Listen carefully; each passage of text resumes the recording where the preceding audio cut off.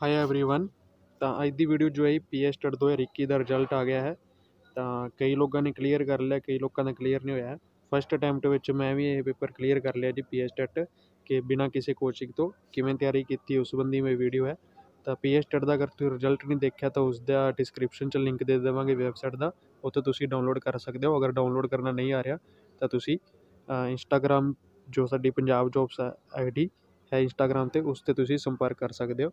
ਤਾਂ ਹੁਣ ਆਪਾਂ ਅੱਗੇ ਗੱਲ ਕਰਦੇ ਹਾਂ। ਫਸਟ ਅਟੈਂਪਟ ਵਿੱਚ ਮੈਂ ਕਿਸ ਤਰ੍ਹਾਂ ਕਲੀਅਰ ਕੀਤਾ ਪੀ ਐਸ ਟੈਟ ਕਿੰਨੇ ਮੇਰੇ ਮਾਰਕਸ ਆਏ? ਤਾਂ ਉਹ ਮਾਰਕਸ ਦਾ ਜੋ ਰਿਜ਼ਲਟ ਡਾਊਨਲੋਡ ਕੀਤਾ ਹੈ, ਉਹ ਵੀ ਤੁਹਾਨੂੰ ਲਾਸਟ 'ਤੇ ਦਿਖਾ ਦੇਵਾਂਗੇ ਕਿੰਨੇ ਮਾਰਕਸ ਮੇਰੇ ਆਏ ਹਨ। ਤਾਂ ਕਿਸ ਤਰ੍ਹਾਂ ਮੈਂ ਤਿਆਰੀ ਕੀਤੀ ਜੀ? ਕੋਈ ਸਪੈਸ਼ਲ ਤਿਆਰੀ ਨਹੀਂ ਕੀਤੀ ਕੋਚਿੰਗ ਵੀ ਨਹੀਂ ਲਈ। ਕੋਚਿੰਗ ਲੈਣ ਲਈ ਪਹਿਲਾਂ ਮੈਂ ਅਕੈਡਮੀ ਜੁਆਇਨ ਕੀਤੀ ਸੀ, ਪਰ ਬਾਅਦ ਵਿੱਚ ਮੈਨੂੰ ਪਤਾ ਲੱਗਿਆ ਕਿ ਅਕੈਡਮੀ ਵਾਲੇ ਜੋ ਹਨ, ਉਹ ਸਹੀ ਤਰ੍ਹਾਂ ਨਹੀਂ ਕਰਵਾ ਰਹੇ ਹਨ। ਸਿਲੇਬਸ ਮੈਂ ਪਹਿਲਾਂ ਦੇਖ ਲਿਆ ਸੀ। ਕੋਈ ਵੀ ਜਦੋਂ ਆਪਾਂ ਇਗਜ਼ਾਮ ਦਿੰਦੇ ਹਾਂ, ਉਸ ਦਾ ਪਹਿਲਾਂ ਸਿਲੇਬਸ ਦੇਖ ਲੈਣਾ ਚਾਹੀਦਾ ਤਾਂ ਸਿਲੇਬਸ ਦੇਖਿਆ ਅਤੇ ਜਦੋਂ ਜੋ ਚੀਜ਼ਾਂ ਕਰਵਾ ਰਹੇ ਸਨ, ਮੈਂ ਦੇਖਿਆ ਸੀਗਾ ਥੋੜ੍ਹਾ ਆਊਟ ਆਫ ਸਿਲੇਬਸ ਕਰਾ ਰਹੇ ਹਨ, ਕਿਉਂਕਿ ਉਹ ਇੱਕ ਮਿਕਸ ਬੈਚ ਸੀ ਕਿ ਪੰਜਾਬ ਦੇ ਜੋ ਅਦਰ ਕੰਪੀਟੀਟਿਵ ਇਗਜ਼ਾਮ ਹਨ ਔਰ ਪੀ ਪੀ ਐਸ ਟੈਟ ਹੈ, ਉਸ ਦਾ ਸੇਮ ਹੀ ਬੈਚ ਚਲਾ ਰਹੇ ਸਨ ਅਤੇ ਦੂਸਰੇ ਇਗਜ਼ਾਮ ਦੀ ਤਿਆਰੀ ਦੇ ਵਿੱਚ ਵਿੱਚ ਪੀ ਐਸ ਟੈਟ ਦੀ ਤਿਆਰੀ ਕਰਾ ਸਰ, ਕਰਾ ਰਹੇ ਸਨ। ਅਤੇ ਜਿਸ ਤਰ੍ਹਾਂ ਮੈਨੂੰ ਪਤਾ ਲੱਗਿਆ, ਤਾਂ ਮੈਂ ਜ਼ਿਆਦਾ ਟਾਈਮ ਕੋਚਿੰਗ ਨਹੀਂ ਲਈ, ਦਸ ਪੰਦਰਾਂ ਦਿਨ ਹੀ ਦੋ ਹਜ਼ਾਰ ਰੁਪਏ ਹੀ ਫੀਸ ਦਿੱਤੀ ਸੀ, ਜ਼ਿਆਦਾ ਜੋੜਨ ਦੀ ਪੂਰੀ ਫੀਸ ਛੇ ਸੱਤ ਹਜ਼ਾਰ ਸੀ ਨਹੀਂ ਦਿੱਤੀ ਸੀ। ਤਾਂ ਬਾਅਦ ਵਿੱਚ ਮੈਨੂੰ ਜਦੋਂ ਪਤਾ ਲੱਗਿਆ ਕਿ ਇਹ ਸਹੀ ਕੰਮ ਨਹੀਂ ਕਰਵਾ ਰਹੇ ਹਨ, ਤਾਂ ਮੈਂ ਕੋਚਿੰਗ ਜਾਣੀ ਛੱਡ ਦਿੱਤੀ ਔਰ ਖੁਦ ਹੀ ਆਪਣੀ ਤਿਆਰੀ ਸ਼ੁਰੂ ਕੀਤੀ। ਅਤੇ ਤਿਆਰੀ ਕਿਸ ਤਰ੍ਹਾਂ ਕੀਤੀ, ਇਸ ਲਈ ਮੈਂ ਇੱਕ ਦੋ ਬੁੱਕਸ ਟ੍ਰਿਪਲ ਏ ਦੀ ਬੁੱਕਸ ਔਰ ਸਵਰਨ ਦੀ ਬੁੱਕ ਜੋ ਹੈ, ਉਹ ਥੋੜ੍ਹੀ ਰੀਡ ਕੀਤੀ ਔਰ ਜੋ ਮੈਂ ਪੇਪਰ ਕਲੀਅਰ ਕੀਤਾ ਜੀ, ਉਹ ਪੀ ਐਸ ਟੈਟ ਵਨ ਕੀਤਾ ਕਿਉਂਕਿ ਮੈਂ ਡੀ ਐਲ ਐਡ ਕੀਤੀ ਹੈ ਬੀ ਐਡ ਨਹੀਂ ਕੀਤੀ। ਤਾਂ ਡੀ ਐਲ ਐਡ ਦੀਆਂ ਜੋ ਮੇਰੀਆਂ ਬੁੱਕਸ ਹਨ, ਉਹ ਮੈਂ ਕੋਗਨੀਸ਼ਨ ਲਰਨਿੰਗ ਵਾਲੀ ਹੋ ਗਈ diversity gender and change inclusive education ਤਾਂ ਇਹ ਬੁੱਕਸ ਨਾਲ ਮੈਨੂੰ ਸਾਈਕੋ ਜੋ ਹੈ ਚਾਈਲਡਹੁੱਡ ਹੈ, ਉਹ ਕਾਫੀ ਚੰਗੀ ਤਰ੍ਹਾਂ ਅਸੀਂ ਮੈਂ ਤਿਆਰੀ ਕੀਤੀ। ਤਾਂ ਚਾਈਲਡਹੁੱਡ 'ਚ ਵਧੀਆ ਮਾਰਕਸ ਮਿਲ ਗਏ। ਔਰ ਮੈਥ ਜੋ ਮੇਰਾ ਸੀ ਜੀ, ਉਹ ਮੈਂ ਅਦਰ ਐਗਜ਼ਾਮ ਜੋ ਐਸ ਐਸ ਸੀ ਦੇ ਜਾਂ ਅਦਰ ਐਗਜ਼ਾਮ ਦਿੰਦਾ ਸੀ, ਉਸ ਨਾਲ ਮੈਥ ਮੇਰਾ ਪਹਿਲਾਂ ਹੀ ਸਟਰੋਂਗ ਸੀ ਅਤੇ ਮੈਥ ਦੀ ਵੀ ਮੈਂ ਕੋਈ ਜ਼ਿਆਦਾ ਤਿਆਰੀ ਨਹੀਂ ਕੀਤੀ। ਪਰ ਪ੍ਰੀਵੀਅਸ ਪ੍ਰੀਵੀਅਸ ਨੌਲੇਜ ਨਾਲ ਹੀ ਮੇਰਾ ਇਹ ਪੇਪਰ ਕਲੀਅਰ ਹੋ ਗਿਆ। ਇੰਗਲਿਸ਼ ਜੋ ਹੈ, ਉਹ ਮੇਰਾ ਬੈਂਕਿੰਗ ਐਗਜ਼ਾਮ ਮੈਂ ਦਿੰਦਾ ਰਹਿੰਦਾ ਸੀ। ਬੈਂਕਿੰਗ ਜੋਬ ਲੱਗਣ ਦੀ ਮੈਨੂੰ ਕੋਈ ਜ਼ਿਆਦਾ ਮਤਲਬ ਕੋਈ ਸ਼ੌਂਕ ਨਹੀਂ ਸੀ, ਪਰ ਫਿਰ ਵੀ ਬੈਂਕਿੰਗ ਐਗਜ਼ਾਮ ਦੇਣ ਜਾਂਦਾ ਸੀ ਕਿ ਥੋੜ੍ਹਾ ਵਧੀਆ ਲੱਗਦਾ ਸੀ ਇਗਜ਼ਾਮ ਵਿੱਚ ਜਾਣਾ। ਤਾਂ ਐਸੀ ਕੈਟੇਗਰੀ ਵਿੱਚ ਫੇਕ ਐਗਜ਼ਾਮ ਭਰ ਕੇ ਮਤਲਬ ਹੰਡਰਡ ਰੁਪਏ ਫੀਸ ਹੁੰਦੀ ਹੈ, ਤਾਂ ਵਧੀਆ ਇਗਜ਼ਾਮ ਦੇਣ ਜਾਂਦਾ ਸੀ ਕਿ ਇੰਗਲਿਸ਼ ਸਟਰੋਂਗ ਕਰ ਲੂੰਗਾ ਜਾਂ ਵੈਸੇ ਹੀ ਥੋੜ੍ਹਾ ਘੁੰਮਣਾ ਫਿਰਨਾ ਹੋ ਜਾਂਦਾ ਸੀ ਘਰੋਂ ਬਾਹਰ ਐਗਜ਼ਾਮ ਦੇ ਚੱਕਰ ਵਿੱਚ। ਤਾਂ ਇਸ ਤਰ੍ਹਾਂ ਮੈਂ ਬਿਨਾਂ ਮਤਲਬ ਕੋਈ ਪੀ ਐੱਚ ਟੈਟ ਦੀ ਸਪੈਸ਼ਲ ਤਿਆਰੀ ਕੀਤੇ ਕਲੀਅਰ ਕਰ ਲਿਆ ਪੇਪਰ ਤੁਸੀਂ ਅਗਰ ਫਸਟ ਅਟੈਂਪਟ ਵਿੱਚ ਦੇਣਾ ਚਾਹੁੰਦੇ ਹੋ ਪੇਪਰ ਤਾਂ ਤੁਸੀਂ ਕਿਸ ਤਰ੍ਹਾਂ ਤਿਆਰੀ ਕਰਨੀ ਹੈ ਤਾਂ ਇੱਕ ਦੋ ਬੁੱਕਸ ਜੋ ਸਵਰਨ ਦੀ ਹੈ ਟ੍ਰਿਪਲ ਏ ਦੀ ਹੈ ਪ੍ਰੀਵੀਅਸ ਈਅਰ ਪੇਪਰ ਹਨ, ਉਹ ਤੁਸੀਂ ਕਰਨੇ ਹਨ।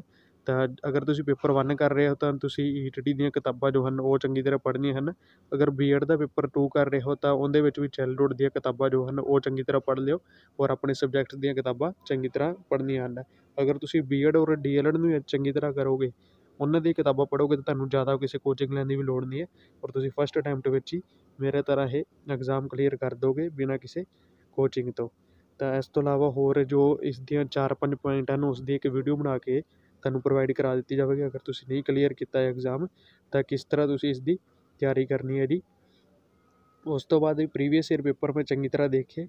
ਪ੍ਰੀਵੀਅਸ ਈਅਰ ਪੇਪਰ ਜੋ ਵੀ ਪਿੱਛੇ ਹੋਏ ਸਨ, ਸਾਰੇ ਮੈਂ ਸੋਲਵ ਕੀਤੇ। ਹੋਰ ਮੈਨੂੰ ਪਤਾ ਲੱਗ ਗਿਆ ਕਿ ਲੈਵਲ ਕਿਸ ਤਰ੍ਹਾਂ ਦਾ ਹੁੰਦਾ, ਕਿਸ ਤਰ੍ਹਾਂ ਦਾ ਐਗਜ਼ਾਮ ਆਵੇਗਾ। ਜਦੋਂ ਤੁਸੀਂ ਪ੍ਰੀਵੀਅਸ ਈਅਰ ਪੇਪਰ ਕਰਦੇ ਹੋ, ਤੁਹਾਨੂੰ ਆਪਣੇ ਆਪ ਹੀ ਤੁਹਾਨੂੰ ਬਲੀਵ ਸੈਲਫ ਬਲੀਵ ਹੋ ਜਾਂਦਾ ਕਿ ਪ੍ਰੀਵੀਅਸ ਈਅਰ ਪੇਪਰ ਕਰ ਰਿਹਾ। ਹੁਣ ਜਿਹੜਾ ਅੱਗੇ ਪੇਪਰ ਆਵੇਗਾ, ਉਹ ਵੀ ਮੈਂ ਕਰ ਸਕਦਾ। ਤਾਂ ਕੋਈ ਵੀ ਟੈਨਸ਼ਨ ਲੈਣ ਦੀ ਗੱਲ ਨਹੀਂ ਹੈ। ਕਿਉਂਕਿ ਬਿਨਾਂ ਟੈਨਸ਼ਨ ਤੋਂ ਮੈਂ ਜਾਂਦਾ ਸੀ ਐਗਜ਼ਾਮ 'ਚ, ਤੁਸੀਂ ਬਿਨਾਂ ਟੈਨਸ਼ਨ ਤੋਂ ਜਾਣਾ, ਜਦੋਂ ਉਹਨਾਂ ਅਗਲਾ ਐਗਜ਼ਾਮ ਹੋਵੇਗਾ, ਤਾਂ ਕੋਈ ਟੈਨਸ਼ਨ ਲੈਣ ਦੀ ਗੱਲ ਨਹੀਂ ਹੈ, ਸਿੱਧਾ ਜਾ ਕੇ ਐਗਜ਼ਾਮ ਵਿੱਚ ਜੋ ਵੀ ਤੁਹਾਨੂੰ ਆਉਂਦਾ ਹੈ, ਚੰਗੀ ਤਰ੍ਹਾਂ ਅਗਰ ਤੁਸੀਂ ਤਿਆਰੀ ਕੀਤੀ ਤਾਂ ਬਿਨਾਂ ਟੈਨਸ਼ਨ ਤੁਸੀਂ ਐਗਜ਼ਾਮ ਕਲੀਅਰ ਕਰ ਸਕਦੇ ਹੋ, ਕਿਉਂਕਿ ਜ਼ਿਆਦਾ ਹਾਰਡ ਐਗਜ਼ਾਮ ਨਹੀਂ ਹੈ। ਡੇਢ ਸੌ ਵਿੱਚੋਂ ਜਰਨਲ ਕੈਟੇਗਰੀ ਲਈ ਨਾਈਨਟੀ ਮਾਰਕਸ ਹੀ ਲੈਣੇ ਹਨ।